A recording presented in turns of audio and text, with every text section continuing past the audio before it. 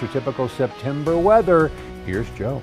All right, we're hotter than normal, and then we're going to get cooler than normal. We've been drier than normal, and the opportunity for much needed moisture is going on the increase. So near record heat for the weekend in the Albuquerque area. Limited showers and thunderstorms throughout many areas of the state. It'll be more active eastern parts of New Mexico, and then wet and cooler conditions ahead. So we need the moisture, we need the cool down, and it is in the offing. Not necessarily for the first state fair weekend. We'll still have the near record heat for Saturday, Sunday, and then we get into Monday. Temperatures start to drop Canyon winds start to increase and some isolated showers and thunderstorms, but that will be increasing as we'll be showing you. Here's an area of high pressure. There's the heat around it. Now, as this high pressure system starts to back away, there'll be a disturbance that wraps on the front end of it and really picks up from the Central Mountain chain eastward and then going on into the following day, which would be Sunday, Saturday, I should say. Uh, well, it should be Sunday, basically. Uh, we'll see showers and thunderstorms still flowing throughout eastern parts of New Mexico. Now, here's what we're looking at for the official State Fair forecast. Uh,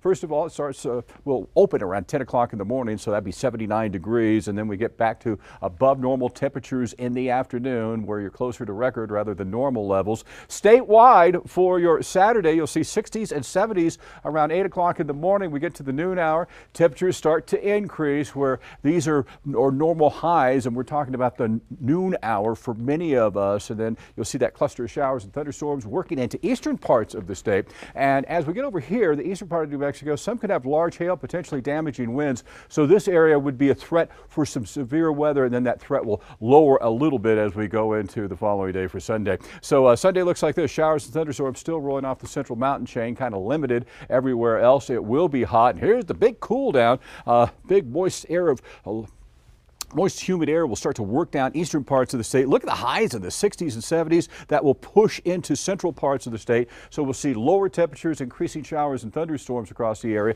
And then it will continue to wrap up as we get into Tuesday and Wednesday throughout many areas of the state for central and western parts of New Mexico. So 80s, 90s in the Four Corners region. And then look at the lower daytime highs and those isolated to scattered showers and thunderstorms increasing from the start of the work week and advancing on a Tuesday, Wednesday, and Thursday. 95 in Socorro, near 100 in True truth or consequences. There will be partly cloudy skies, hot conditions through the weekend in Silver City, but showers and thunderstorms a bit more active by Tuesday and Wednesday. Southeast, we'll see 96 over at Alamogordo, 84 Ruidoso. Here's that cluster of showers and thunderstorms that could be strong to severe across some areas of the east, a little less active on Sunday. And then look at the big temperature drop with increasing storm chances going into the early parts to the middle part of the upcoming week. We'll be in the 80s from Raton, Las Vegas on into Cedar Crest west, and then temperatures start to increase, as, as decrease, I should say, as the moisture starts to increase. And look at that, 66 on Tuesday with some showers and occasional thunderstorms across the area. 81 in Chama,